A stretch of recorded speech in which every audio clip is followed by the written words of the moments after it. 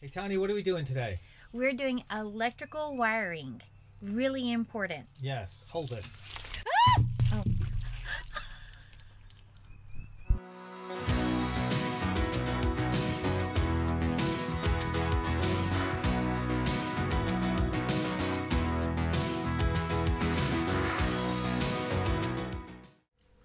What's up, everyone? Welcome to my office, which means the corner of our master bedroom. Um, so, I wanted to take you for a minute through some of the drawing that I did to come up with our wiring plan. Now, this is not the wiring plan. If you do electrical design um, for campers, you'll get a bunch of uh, pictures online of how you connect the batteries to the bus bar, how you connect the inverter to the batteries, things like that. And that's super, super important. But that for us is going to come a little bit later. Right now, we're trying to figure out how do we finish the walls. We want to close up the ceiling, and we can't do that until we've run the wires. And how do we assure that we've run the right, right wires to the right locations?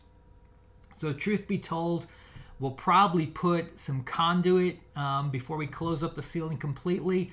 And that way, if we need to run wires later, we can still do it. But it certainly would be nice to just do it right the first time. So, I'm going to show you what I did to uh, to draw this up. Now, just keep something in mind. All the wiring that we're running is stranded exterior grade wire. Some of it is marine grade, some of it is not.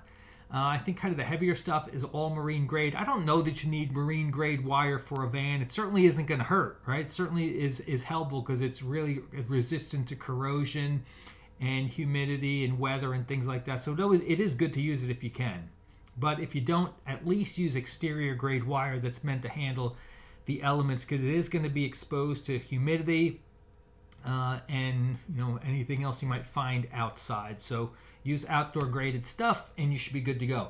So I am going to take you and show you what I've uh, actually I started. I actually tried to do this on just a whiteboard and this is what I came up with. So it's accurate. The problem is there's so much stuff on it you can't really use it. So I am going to show you what this looks like. I am using something called SmartDraw, which I absolutely love. I'm only on a um, trial basis of it right now, but I think I'm going to buy it because I really like it. The really cool thing about it for this purpose is it lets me draw things in layers. So my base layer is the floor plan of my van. Then I put a layer of wiring on top of that, another layer of wiring on top of that. And the nice thing is I can turn layers on and off as I need them. So as we're working on a specific part of the wiring, I just show that layer and it's really nice and concise and I know everything's gonna go good. So let me bring you into this and show you what it looks like.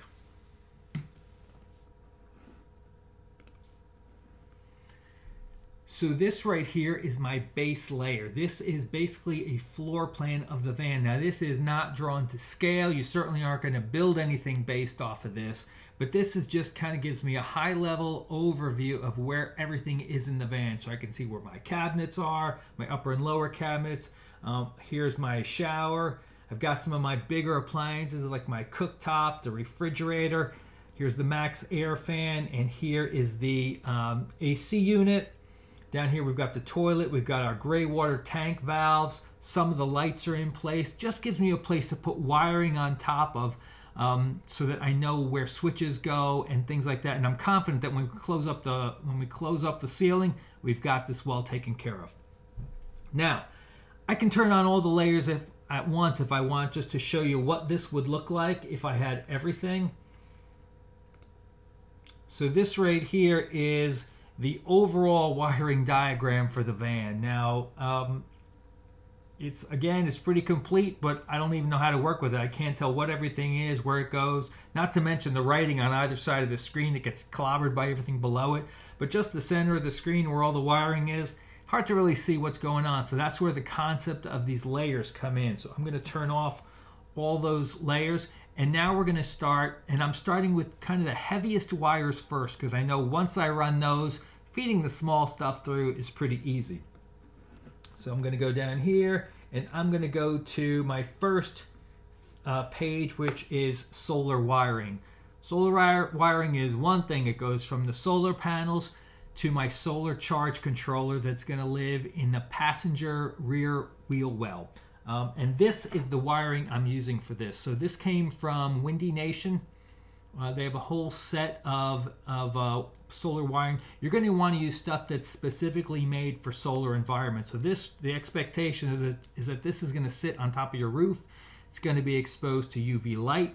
It's going to be exposed to all sorts of elements. It's got a really thick jacket. Um, it's really suited for that environment. So make sure you use solar wire for this purpose. Now I accidentally bought one that has connectors on both ends of it, which I really don't need. I just need the end that goes into the solar panels. The other end I will cut off, feed it through the walls, and then into the solar charge controller. Uh, how did I choose eight? This is eight gauge wiring. How did I choose it? I have a really hard time believing you're going to need anything more than 10 gauge wiring. Um, all the calculations I did, my solar panels actually have a maximum current of 10.75 amps, but that's written on the manufacturer's webpage. So if you put 10.75 uh, amps into pretty much any one of the sizing calculators, you'll get uh, 10 gauge wire. I chose to use 8.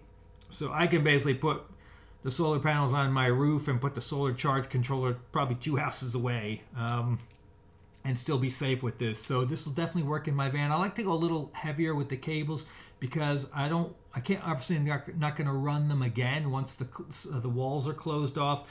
So I want to make sure that later on, if I choose to upgrade the solar panel, if I choose to upgrade the, the, uh, the charge controller, whatever I'm doing, the wiring is already uh, ready for it. So kind of make the wiring good today and I'll be able to expand it tomorrow. So that's all that's going on with the solar page. We've got our entry gland. This is where everything pops through the ceiling, runs along the wall, and out to the solar charge controller. And that is it for solar wiring. That'll be great. All right, I'm going to move now to what I call heavy wiring. Really just made that name up. So this is two things we're accounting for in the heavy wiring. We're accounting for the DC to DC charger. So if you remember about I three videos back, I think it was, we talked about the three sources of energy that we have. We have the solar panels, we have the alternator through the DC to DC charger, and we have the shore power. So last page, we just talked about solar panels. This is the other two forms of it right here. So we've got the starter battery, which has a wire running to a uh, 30 volt, 30 amp DC to DC charger that also lives by the back passenger wheel well. Now that thing accepts up to six gauge wire. So why am I using four? I'm gonna have to, some, somewhere I'm gonna have to turn gate four into six. So I'm gonna have to step it down somewhere. But let's say later I want to upgrade my, my uh, DC to DC charger. Let's say later I even decide, you know what, we're gonna change the alternator in the van and make it more powerful. The last thing I wanna do is say, oh, I ran six gauge wire, so I'm kind of limited. So ran four. It's just we're just doing it one time. Might as well go the extra mile and just put in the slightly heavier gauge wire so we're prepared for any changes later on. Now I don't have that wire with me. That's actually already in the van and we've started wiring it. We'll show that to you how we're going to do that. But that's already in the van so I don't have it here. The shore power inlet from our last video, you remember we used 10-3 exterior grade wire. That is also in the van. Um, we've got that all hooked up and we've got that the wire is basically going to go from that inlet across the van under the garage and over to our 3000 watt inverter. So that'll be our second and third sources of energy along with the solar. That gives us all our our uh, power coming in. And I've got a little bill of materials here on the right hand side. So that's all the heavy stuff. Now we're going to move to AC wiring Okay, now keep something in mind. The, the colors of my wiring does not in any way say that I have blue I have blue wire or red wire or green wire. This is just so that I can see where stuff needs to run and I know what the different circuits are. So for AC, I've really got three things I've got to account for.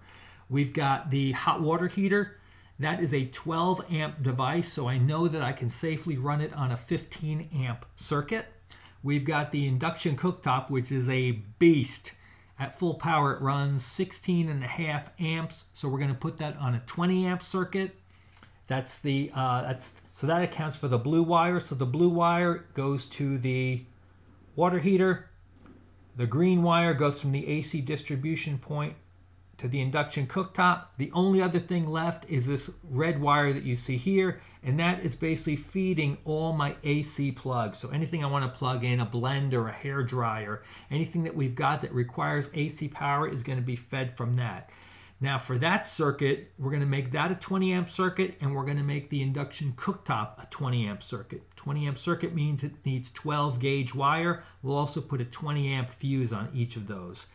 Now all the wiring on this page is going to be this stuff. Now this is marine grade. Uh, this is the 14 gauge, says somewhere on here, I can't really read it. This is either the 14 gauge or the 12 gauge. I've got both of them. Um, am I saying you need marine grade wire for everything in the van? No, but if you can, it certainly is, is nice to have it. I can't remember where I got this. I'll link it below. But uh, this is everything we're going to use for the AC portion of the van. Now, we're going to move to the DC side. Now, most of the stuff in the van runs on DC, as you can imagine. So from here, these pages are going to get a lot more full and we're there's going to be a lot more wires, but they're thinner wires, so they're a lot easier to run. So I've divided the uh, DC power into uh, two pages. So one of them I've called DC switched wiring. So these are the few devices that are in the van that actually require an on-off switch that run through DC. And then my next page is DC non-switch. That's stuff that gets a constant supply of electricity, and then maybe there's a remote control or a switch on the device that turns it on or off. It just needs a constant flow of 12 volt DC to it. So I've divided those into two pages. So this page is actually pretty easy. The only thing I account for in this page are the two ball valves that go on the uh, gray water tanks, one for the shower, one for the sink. And to be honest, if I can combine those into one gray water tank, I'm going to because they are pretty close to each other. I'm going to try to combine them if I can. So we start with our DC distribution block. This is the source of our DC power. Those wires go to a switch. I've got one switch for each of the uh, ball valves. And then from there, we feed out to each of those to each of those ball valves. To be honest, I probably could run one wire from the DC distribution block and split it somewhere in here and run it to each of these. That would be totally fine too. In fact, I may end up doing that so it kind of keeps the wiring down a little bit. The only other thing on this page that I've got to consider is the 3000 watt inverter on off switch. That comes in the box with the inverter. I've just got to remember to run it. So that's one of the benefits of this thing, right? I'm going to have so many, we're going to run so many wires that there's going to be something that we're just going to forget, especially if it's sitting in the box with the inverter. So by drawing this here, I remember I've got to open the box to the inverter, grab the switch, and make sure I run that one before we close up the walls. So another good reason to do this. Okay, DC non-switched wiring. So this is probably the heaviest loaded page because there are a lot of devices that run DC that don't require a switch. So again, I've got this separated into pretty much every color of the rainbow here just so I can see the different circuits that I'm going to use. So I'm going to start here. Now the gauge of these wires change depending on what they're feeding. So the first thing is our 12 volt refrigerator. Manufacturer says it requires 10 gauge wire. Okay, we're going to use 10 gauge wire. So small wire, go, small length of wire goes from the DC distribution panel over to the refrigerator. There's no on-off switch. The thing is always running. Next, DC distribution block over to our uh, AC unit. Again, you control that with a remote control. So that requires 12 gauge wire, which we'll probably use this stuff. Over to our heater.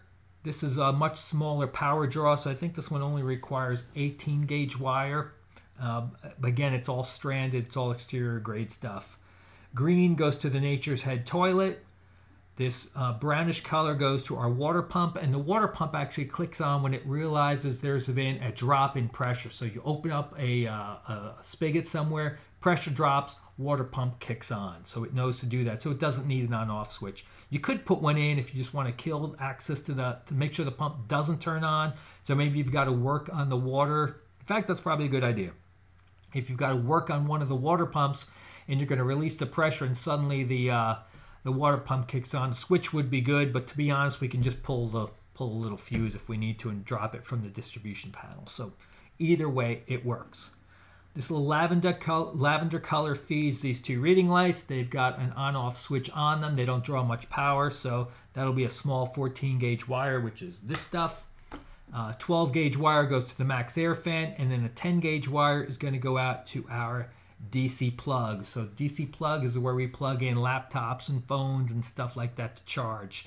And I'm using 10 gauge wire because my Mac, my 16 inch Mac, it takes up a lot of power. In fact, it heats up my power brick pretty good. So I want to make sure what's in the fan behind the walls is sufficient to handle it. So uh, bill of materials over here at the right tells you everything you need here.